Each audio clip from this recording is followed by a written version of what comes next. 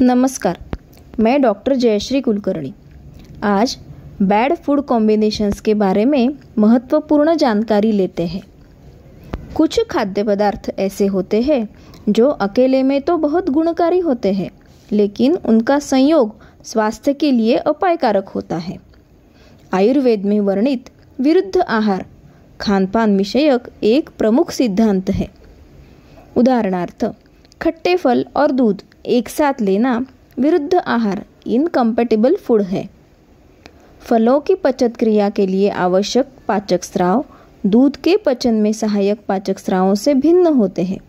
अतः दोनों को एक साथ खाने पर ये संयोग आंतों में दीर्घकाल तक पड़ा रहता है।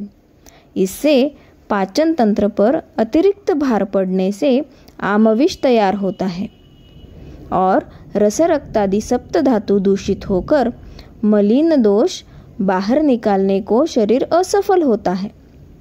परिणाम स्वरूप पोषक तत्वों के शोषण एवं ऊर्जा अर्थात शरीर शक्ति के निर्माण में रुकावट आती है। कई रुग्णों के क्लिष्ट दुष्चिकित्स्य रोगों का मूल कारण विरुद्ध आहार ही होता है। इसीलिए अम्लम पयसा सह विरुद्धम, ये चरक संहिता का आदेश सभी को अवश्य पालन करना है। इसीलिए खट्टे फलों का मिल्कशेक, अशक्त, अपचन, खांसी, बुखार, संधिवात जैसे रुग्णों को खास करके सर्वदा वर्ज रखना चाहिए। ध्यान रहे, कच्चा आम खट्टा होने से दूध के साथ विरुद्ध होता है, लेकिन पूरी तरह से पककर मीठा हुआ आम दूध के साथ विरुद्ध नहीं होता। जल्द ही इस पर एक विस्तार से वीडियो करने वाली हूँ।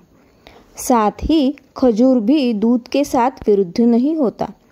दूध वास्तव में पूर्णान्न होने से वैसे तो अकेला ही पीना चाहिए, लेकिन अच्छी, जोरदार या तेज़ भूख लगने पर घी के साथ भुने चावलों की खीर बनाकर या खजूर के साथ मिलाकर खाना एक सर्वोत्तम पोषक आहार है। इसीलिए आज हम खजूर का दूध बनाना सीखते हैं।